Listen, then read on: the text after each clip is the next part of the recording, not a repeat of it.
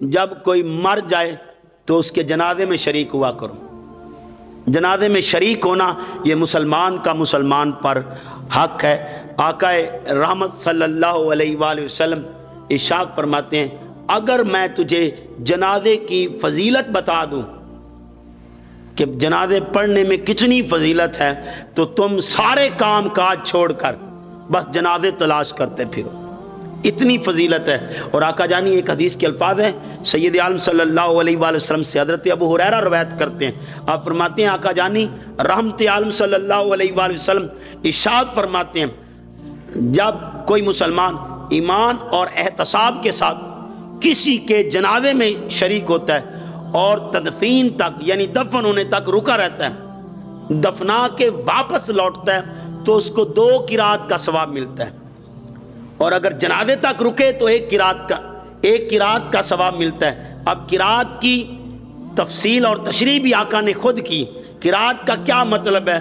حضور فرماتے ہیں اود پہاڑ کے برابر ثواب۔ اود پہاڑ کے برابر ثواب ہے۔ اود پہاڑ بہت بڑا پہاڑ ہے۔ جن لوگوں نے دیکھا ہے، میں اس کی ایگزیکٹ فگر تو نہیں جانتا کہ وہ کتنے میلوں پر ہے، لیکن ایسٹیمیٹ لوگ کہتے ہیں، کوئی دس کہتا ہے، کوئی پندرہ کلومیٹر کہتا ہے۔ تو دس پندرہ کلومیٹر کے حجم کا یہ پہاڑ ہے۔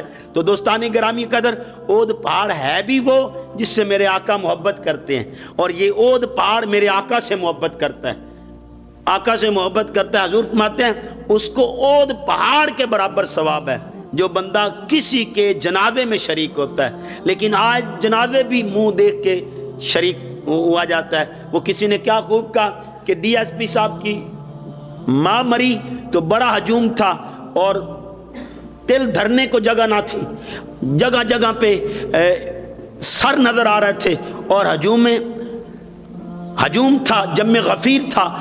لیکن جب ڈی ایس پی صاحب مرے، اب منہ کس کو دکھانا ہے؟ اب منہ دیکھنے والا کوئی نہیں رہا۔ جس کو منہ دکھانے کے لیے گئے تھے، اب وہ نہیں۔ تو اب کوئی بھی نہیں ہے صاحب۔ یہ ذہن نشین کر لیں۔ جنازے چہرہ دیکھ کے، عمارت دیکھ کے زہری رنگ ڈھنگ دیکھ کے نہیں شریک ہونا۔ ہم نے اس لیے شریک ہونا ہے کہ یہ ہمارا مسلمان بھائی ہے۔ صاحب، ہمارے پڑوس میں کوئی مر جائے تو ہم اس کے جنازے کو غریب ہو، ہم اس کے جنازے کو چھوڑ دیتے ہیں۔ اور بلا ضرورت کہیں دور بھی جانا پڑے تو ہم چلے جاتے ہیں۔ صاحب، ذہن نشین کر لیں۔ یہ مسلمان کا مسلمان پر حق ہے کہ تم اس کے جنازے میں شریک ہو۔ تو جو بندہ جنازے میں شریک ہوتا ہے اور تدفین تک لازم نہیں کہ آپ تدفین تک رکیں، لیکن میرے آقا جانی فرماتے ہیں، اگر دفنانے تک تم رکے رہو تو تجھے دو کی رات کا ثواب ملے گا۔ اگر وقت ہو تو دفنانے تک رکنا چاہیے۔ کیوں بھائی؟ کیوں دفناؤں؟ میرے پاس تو اتنا وقت نہیں۔ ایسے ہی گھر جا کے سونا ہی ہوتا ہے، لیکن وہاں سے ہم چل پڑتے ہیں۔ لازم نہیں ہے کہ آپ وہاں رکے رہیں، لیکن حضور ثواب بتا رہے ہیں۔ یہ میت کا پروٹوکول بتا رہے ہیں، یہ نہیں کہ امیر ہوگا تو اتنا ثواب ہے، غریب ہوگا تو اتنا ثواب ہے، نہیں۔ جس کے بھی جنازے میں شریک ہو، یہ ضروری نہیں وہ بڑا آدمی ہو، یہ بھی ضروری نہیں کہ وہ غریب ہو۔ جنازہ جس مسلمان کا ہو، ایمان اور احتساب سے جو بندہ شریک ہوگا، اس کو دو کراط کا ثواب ملے گا دفنانے تک اگر رکا رہتا ہے۔ اور اگر دفنانے سے پہلے چلا جائے، حضور فرماتے ہیں، ایک کراط کا ثواب ملے گا۔ یعنی دو بڑے پہاڑوں کے برابر ثواب۔